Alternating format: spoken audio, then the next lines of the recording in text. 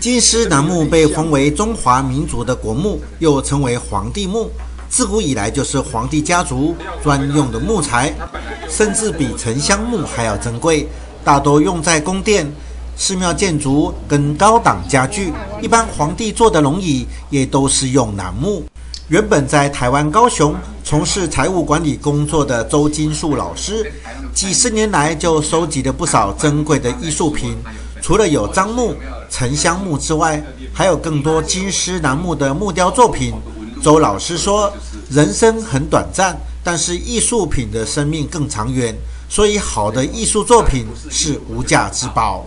喜欢的无价，不喜欢的也是无价。”还一个是非常多的无价，一个是完全没有价格的无价，所以我没有办法告诉你多少数量多少，什么样类型的作品？呃，有枯木的金丝楠木，它有雕观音啦、关公啦、达摩啦，还有很多不同类型的雕刻。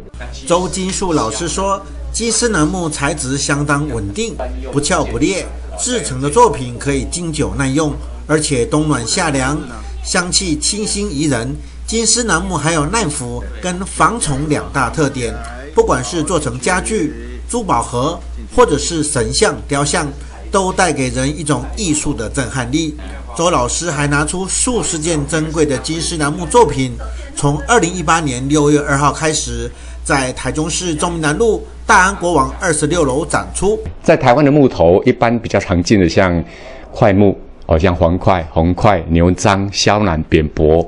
这一些，那在中国的木头比台湾还要多。那在中国，楠木这个名字，其实它总共有五十几种。这些金丝楠木的作品在台中展售一个月的时间。周金树老师说，目前金丝楠木家具的数量非常少，尤其是古董的老家具，简直就是人间极品，适合收藏，也可以投资理财，因为有很高的升值潜力。